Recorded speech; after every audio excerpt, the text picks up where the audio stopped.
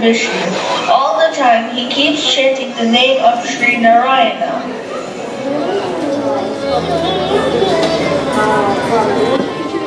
Once, ego entered into the minds of sage Narada.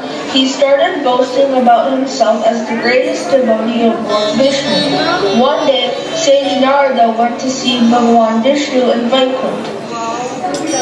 Narayana.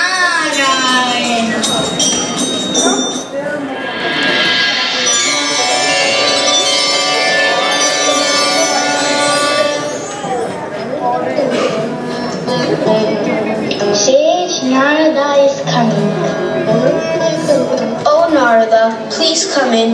You always bring so much joy to me. Sriman Narayana, I enjoy chanting your name all the time. Can I ask you a question? Without hesitation, Narada, being one of my dearest devotees, will I say no to you? That's my question. You said being one of my dearest devotees. I thought I'm the greatest devotee of you. Who will come close to me? Oh Narada, there are many. How can there be any devotee equal to me? I chant your name all the time. Even in my dream, I chant your name. Narada, please go and see this farmer in the village of Bhaktagram. His name is Haridas.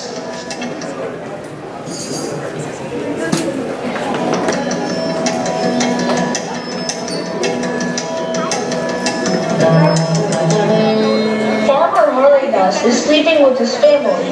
With the sound of early morning birds, he wakes up. Narada will be watching from the corner.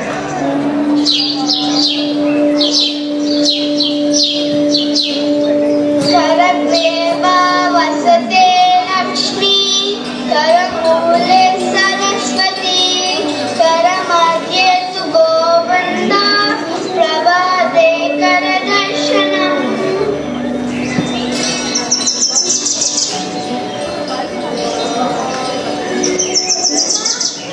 Bhakti Dev has prepared breakfast for you.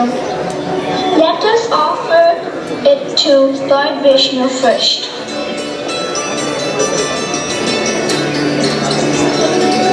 Rather keep some of this food for offering to guests.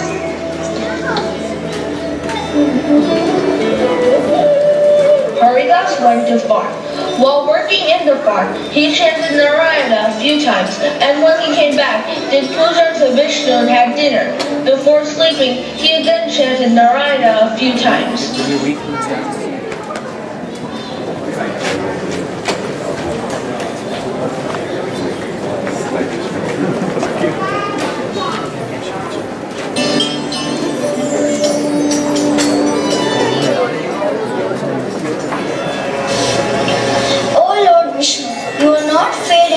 Judgment on devotees. I saw Haridas in Bhaktigram. He chanted your name only 20 times in the entire day. I chant not less than 1000 times. How come he is a better devotee than me? Oh Narada, I will explain to you. Please calm down.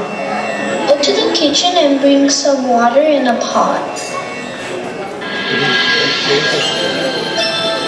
Keep this pot on your head and balance it. Walk a hundred feet like that.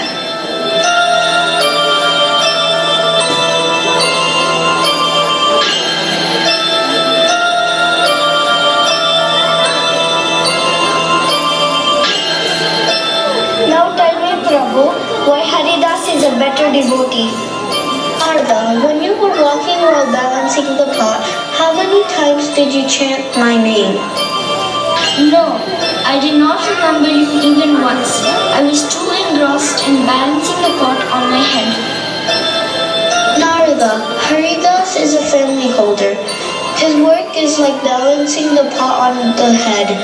In spite of that, he remembers me so many times. Bhagavan Vishnu, you have removed the ego that covered me. Give me your blessings so that I will never get caught up in the ego again. So be it, my child.